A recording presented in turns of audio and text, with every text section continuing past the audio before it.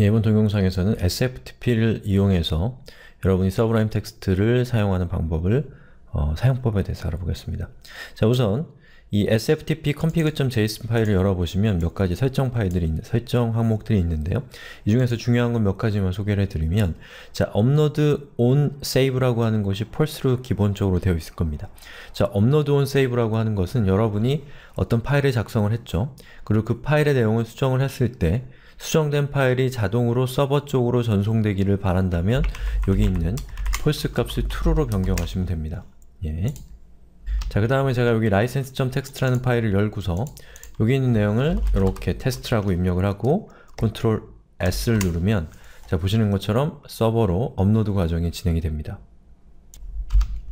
자 그리고 특정한 파일을 서버 쪽으로 명시적으로 업로드하고 싶다. 그러면 이 파일을 선택하고 또는 폴더일 수도 있겠죠. 그 다음에 sftp, ftp 메뉴로 들어간 다음에 이 중에서 upload file이라고 하는 것을 선택하시면 됩니다. 또는 폴더를 선택하면 되겠죠. 자 그리고 여러분의 local에 있는 파일과 remote, 즉 서버 쪽에 있는 파일, 파일의 내용이 어떤 부분이 다른지를 확인하고 싶다면 자 예를 들면 제가 여기 있는 내용을 삭제를 한 다음에요.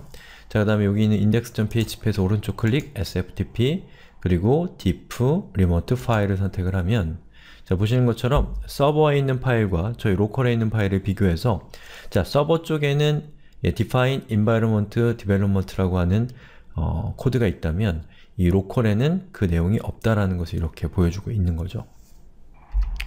자, 그 다음에 여기서 오른쪽 클릭하고 자, 여기 sftp, ftp로 들어가서 이렇게 보시면 sync, local, remote, remote, local, both direction 이렇게 되어 있죠. 자, local에서 remote, 뭐 remote에서 local 이건 뭐냐면 여러분의 local에 있는 파일과 remote에 있는 파일, 이 원격지에 서버에 있는 파일 간에 이 차이점이 있다면 그것을 동기화시킨다는 뜻입니다. local에서 remote는 local에 있는 것을 기본 기본 기준으로 해서 remote에 있는 내용을 바꾼다는 뜻이고 remote local은 그 반대고 both direction은 예, 양쪽 양쪽을 기준으로 해 양쪽을 같은 상태로 만든다는 그런 뜻이겠죠. 자, 그다음에 browse 어, remote라고 하는 항목을 선택을 하면 자, 보시는 것처럼 이 서버 쪽, 서버 쪽에 있는 이 파일들의 리스트가 이렇게 보여집니다. 자, 여기서 up folder라고 하는 것은 현재 여러분이 머물고 있는 디렉토리에 부모 디렉토리 이동을 하는 것이고요. folder actions라고 하는 것은 현재 머물고 있는 디렉토리, 즉 슬래시 home에 egoing의 opentutorials.org라는 이 디렉토리 에 대한 어떤 명령을 실행을 시키는 겁니다. 새로운 파일을 추가한다거나 아니면 새로운 폴더를 추가하기 또는 요 opentutorials.org 밑에 있는 모든 파일을 다운로드 받거나 요 디렉토리의 이름을 바꾸거나 요 디렉토리의 permission을 바꾸거나 삭제하는 그런 기능들이 있습니다.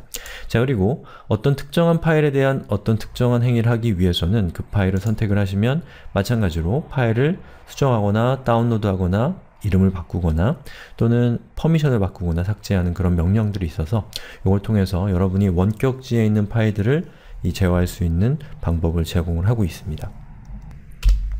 자, 지금까지 제가 주요한 기능들에 대해 설명을 드렸는데요.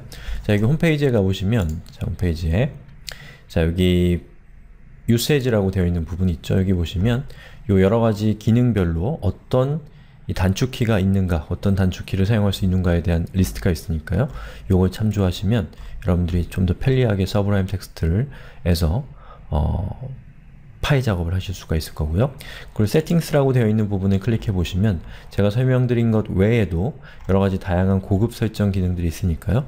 이것도 필요하신 분들은 이걸 참조하셔서 좀 더 자신의 환경에 맞는 서브라임 텍스트 SFTP 이 설정을 만들어 보시는 것도 좋을 것 같습니다.